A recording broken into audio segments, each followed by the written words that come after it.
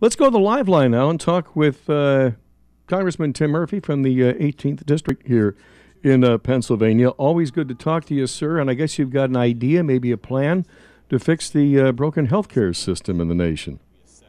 Yeah, that's pretty clear that number one, the, the current system is failing with premiums continue to skyrocket, went up 120% for Pennsylvanians in the last few years.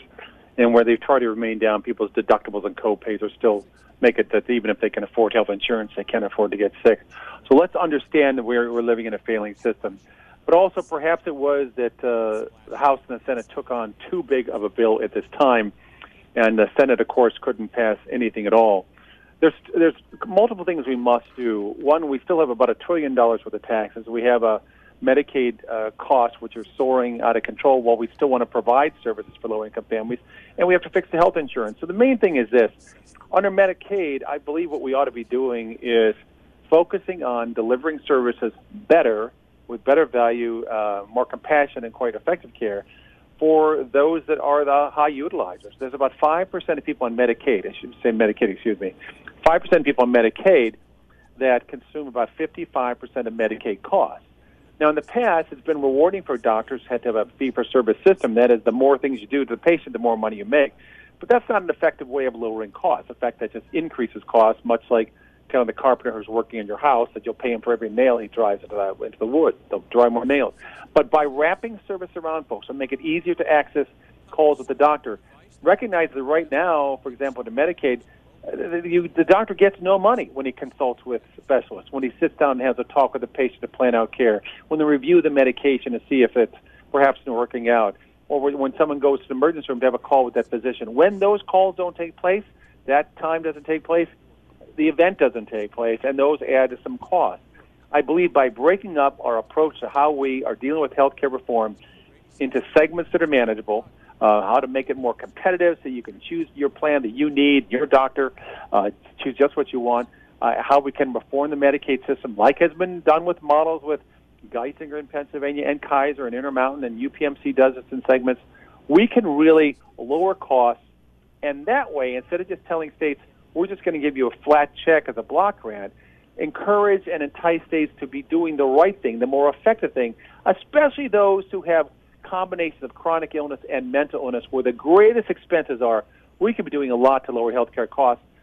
And studies tell us those reductions can be anywhere from 20 to 50 percent lower costs for a state.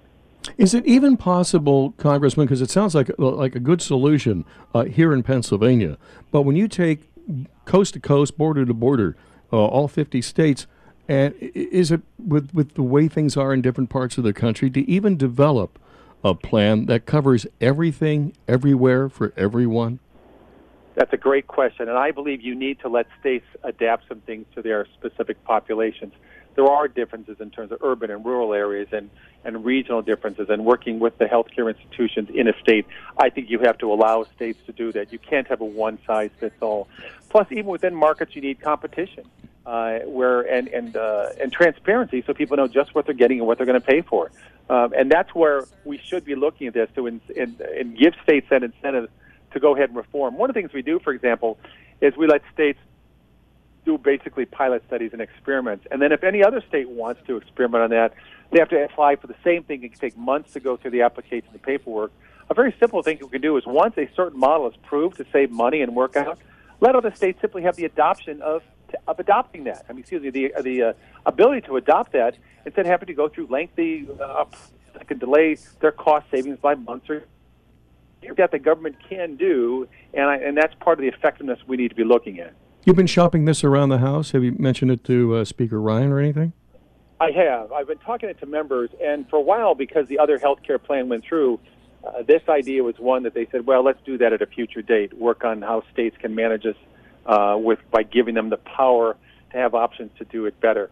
Uh, but now that we see that basically what we had before is not moving forward, uh, as I talked this morning with uh, Chairman Greg Walden of the Energy and Commerce Committee, uh, or people within my committee in oversight and investigation, um, there, there's more. I think it's more palatable for people to say, how do we really fix this? Because what the Affordable Care Act, otherwise known as Obamacare, did is it tried to finance health care without fixing it.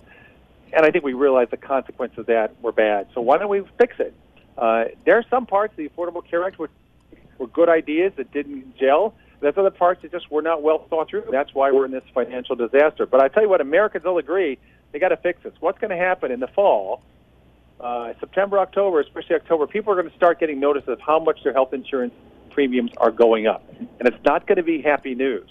And I think that's going to finally push Congress back to the wall and say, stop the internal squabbling, all get down together. And I would strongly encourage my Democrat colleagues and friends that up to this point who have acknowledged that the Affordable Care Act did work, uh, that and who have had ideas but says we're not sharing ideas with you, it really is time to just drop the partisan uh, mantle and get together and think about the American people and get this solved. Now, you work the math, Congressman, you know, and if you can't find a solution uh, to the financial pitfalls here, eventually the ACA is going to collapse. I don't know if it's going to be next year or the year after, but it, it's got a finite lifetime.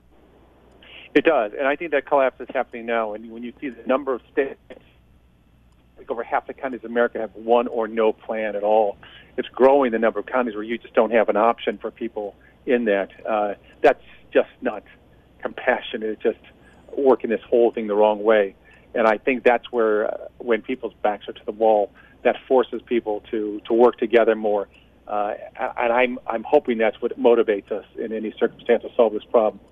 Is, is it uniquely here that, that, that we have such a complex system of health care, the best on the planet, uh, but you know it's, it's a hard one to afford, that we can look at another country for a model where maybe they have worked out all the little thises and that's?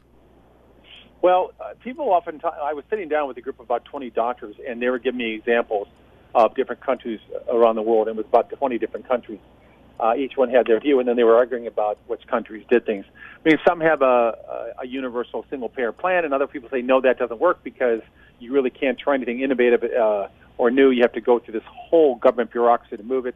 Some people, I mean, and it was literally talking about Norway, Sweden, France, England, Switzerland, and uh, I think that this is where we can look and see what those models have done, bits and pieces.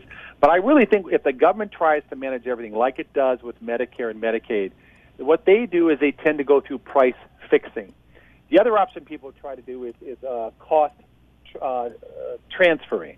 Federal government won't pay this, we'll leave this up to the state. And neither one of those really work unless you empower states and hospitals and doctors to say, make sure you're doing what is most effective for the patient and not letting them languish with uh, trying to manage their own care in a complex case.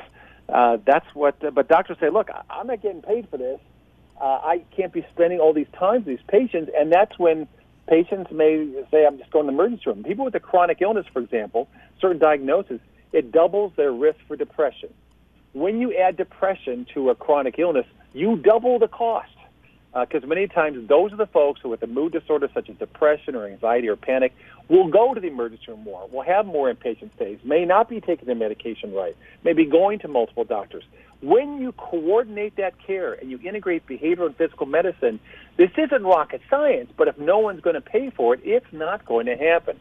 And I think this is where Congress ought to be looking to those who know this, work it out effectively.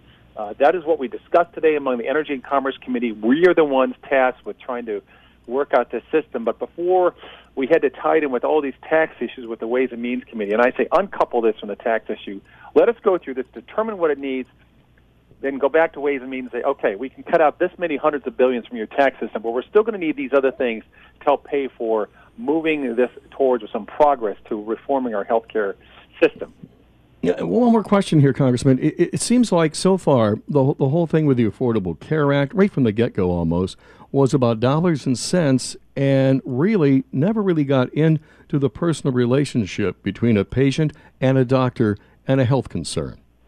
That's exactly right. Uh, UPMC, for example, in their of all things, their inflammatory bowel disease clinic, I had a chance to talk to their doctors, and they said some folks there, uh, when they find they pay more attention to them instead of that person running back and forth to the ER, perhaps a couple dozen times a year, has easier access to talk to the doctor or talk to a nurse, and in cases, talk to a counselor to help them with the the very real emotional strains of dealing with an illness.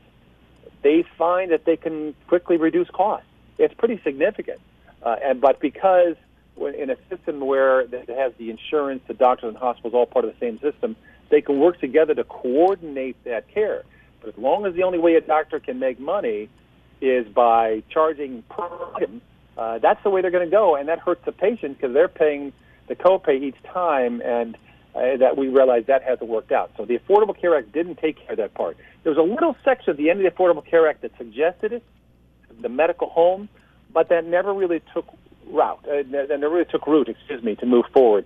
And I think that's where there's enough research now that says we can fix this. The alternate is if we ignore people with serious mental illness who three out of four times will have another chronic illness, they cycle in and out of jails and homeless and, and losing jobs. That cost is immense for the state of Pennsylvania. I think it's over 40, maybe 42,000 a year for a person in jail. But jail doesn't provide treatment for drug abuse. Jail doesn't provide mental health treatment, uh, and jail doesn't really provide good medical care. Plus, people with mental illness, jail's not a treatment center for them. Um, by coordinating this better, uh, we could do this for a fraction of the cost. But Pennsylvania's got to reform its system in order to deal with it. And every state ought to look at this of what's best for that state in terms of managing that change. Well, Congressman, always good to talk to you. Keep us up to date on good ideas you have here to uh, fix the healthcare system in the nation. Do appreciate it, sir. Thank you. Have a wonderful day. You too, and a good weekend. On the KQV Live line from the 18th District, Pennsylvania, Congressman Tim Murphy.